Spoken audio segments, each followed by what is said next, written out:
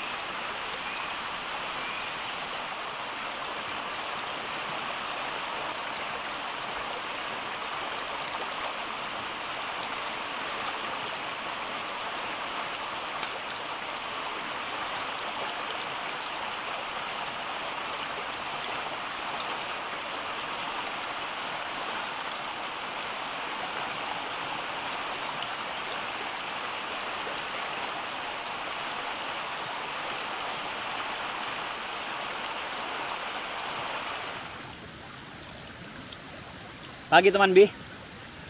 Camping kali ini kita agak anti mainstream ya. Lain dari biasanya. Sekarang kita camping di tengah hutan. Ini real hutan beneran ya, bukan hutan ala-ala. Kita jauh dari pemukiman. Nah, yang bikin beda itu apa coba? kita pasang lampu. ya mungkin semalam kalian udah lihat ya kita pasang lampu sebanyak itu. Uh, saya tuh bawa beli lampu tuh kurang lebih sekitar 20 lampu uh, yang di sekelilingnya itu yang ngelilingin tenda kita itu yang lampu ala-ala lampu kafe gitu. Terus di dalam ditambah ada lampu LED juga yang ditembakin ke atas dan di belakang tenda ada lampu LED lagi yang gede. Nah yang jadi pertanyaan mungkin kalian penasaran kita nyolokinnya dari mana gitu di tengah hutan kita dapat listrik bisa pasang lampu sebanyak itu. Oh, mungkin pakai power bank ya? Sebenarnya pakai power bank juga. Oh. Tapi power bank versi jumbo. Jadi rahasianya yang ada di samping saya ini. Benda yang ada di samping saya yaitu power station.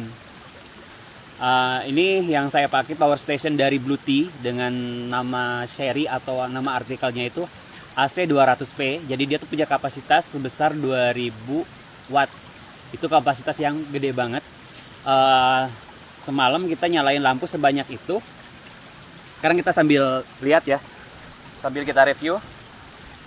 Kita semalam nyalain lampu sebanyak itu dan sekarang masih nyisa di 81% berarti kita pemakaian kurang lebih sekitar 19% ini kalau kita skenario kan berapa hari di hutan?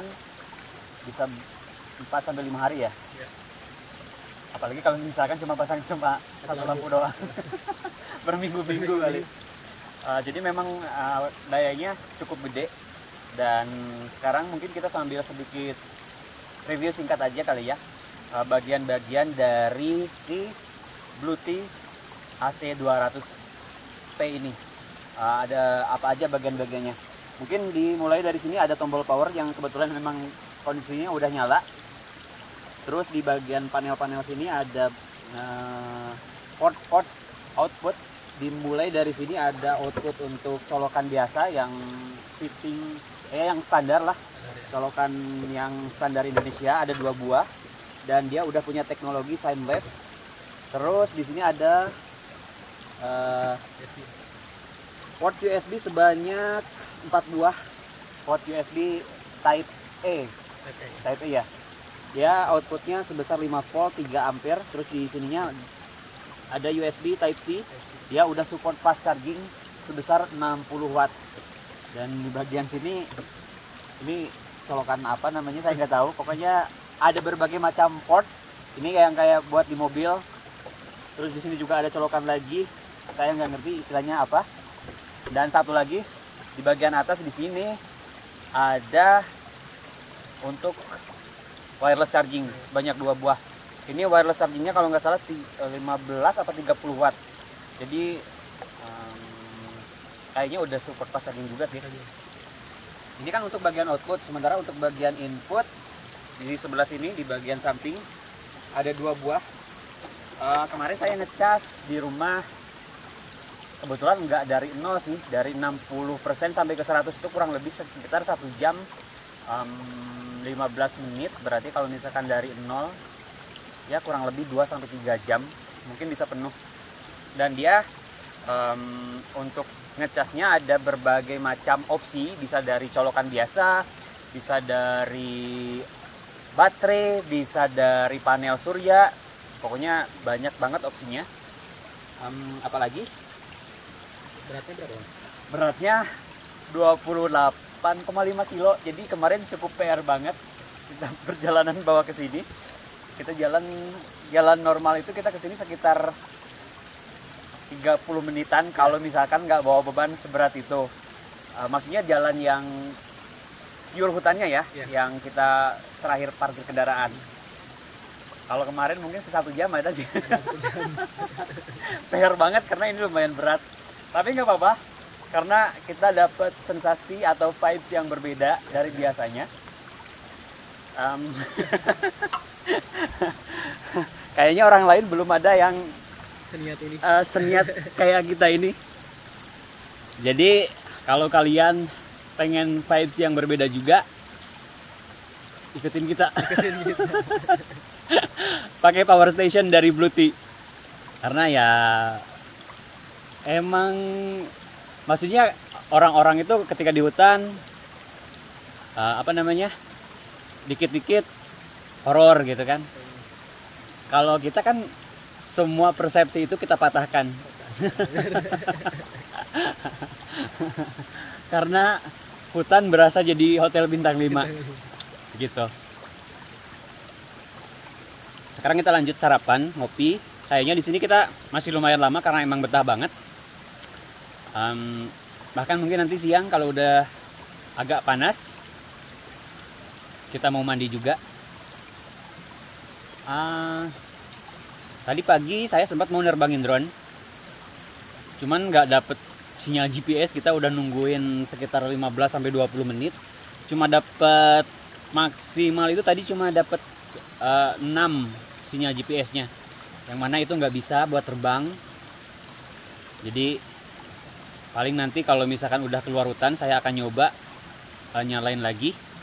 Karena ini emang banyak pohon. Kita lanjut sarapan ya